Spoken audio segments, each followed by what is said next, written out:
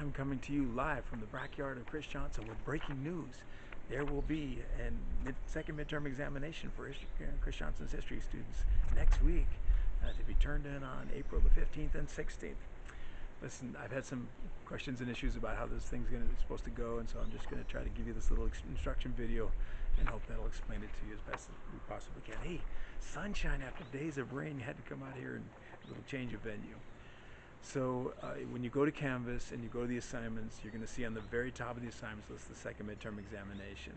And uh, I assume that you guys look in there and you get to actually see the exam posted. And it's going to look just like this. This is the History 101 exam. And it's one of the, there's actually going to be two, two, two different History 101 exams. And I can't separate papers. I've never known to separate papers. And this is the History 102 exam. Um, and they, of course, have instructions on the top of them exactly how to proceed. The test is exactly like you did it before, except, of course, you're doing it at home and you're able to do it. You, make it all one big package, all right? Um, I want you to do the identification portions. Of course, you're going to do eight, five out of the eight that are placed onto the list. You're going to do, of course, the essay question that I've, I've requested you do. My hope is, of course, that you have gone through the appropriate videos. So for History 102, that means you should have covered everything about the Progressive Era and everything about the rise to world power.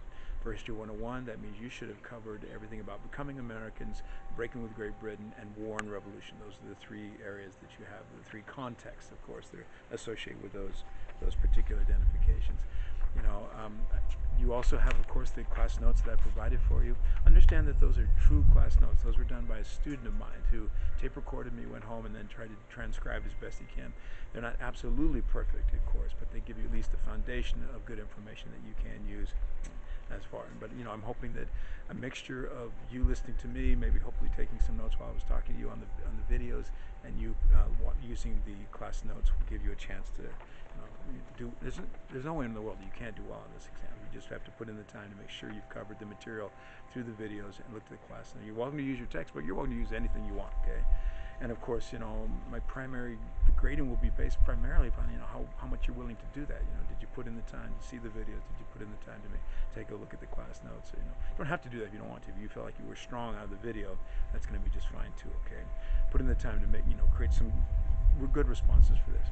My assumption is that you will then, you know, type out your five identifications, the ones that you want. You, you feel that you're going to be the strongest on the course. And this time, there's no good reason to do more than five. Okay, so just do five and don't do any more than that. All right. Um, remember that, of course, you know, although the essay comes from one topic area, the identifications are always going to come from the other topical area. So that's kind of assuming that you're, you're again, doing the span, of course, of all, all the videos.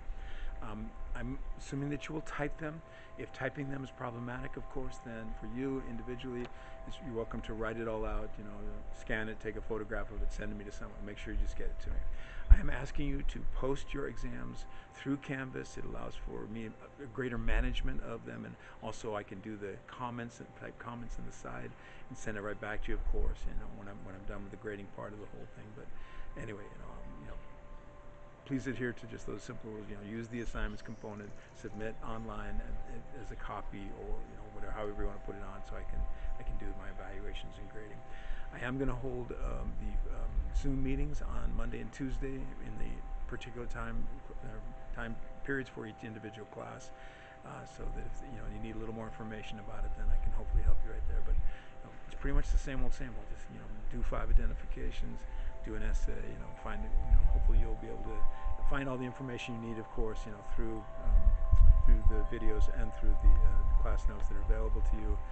And, you know, just do the best you can, of course, then. Just because of the nature of things, I have to be as sympathetic as possible to all my students, and I, and I will be that. And I'm, I'm, just hoping that you're willing to do this, you know, put this together for me, get it into me, and, uh, you know, and so we can move on move on our way towards finishing and you having a successful experience in History 101 and 102. Anyway, um, so much for breaking news, and back to the studio.